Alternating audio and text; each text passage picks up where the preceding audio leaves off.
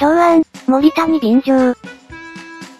同案派そんなバイエルンの姿とアジアカップでの日本代表の姿を少し重ね合わせてこんな風に語ってきた。日本代表がアジアカップで負けた時もそうですけど、この能力が揃ったところで、やっぱりチームとしてやることがはっきりしてなくて、バラバラでやってると、どんだけ強い子でもやっぱり負けてしまう。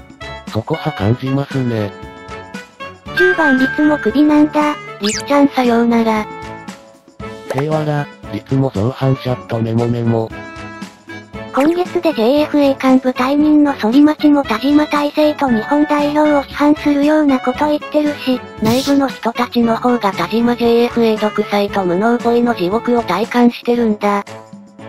そり、言いたいことも言えないこんな世の中じゃ。これよりより直接的な監督批判じゃないか。水戸も相当度ストレートに言ってたような。ま、これが今の僕の限界っすね、の丈が一番きつい気はするけど。粛清者リスト、サコ、ユーマ、ワオ、カマ、フル、イト、森かっこ予定、いつかっこ予定。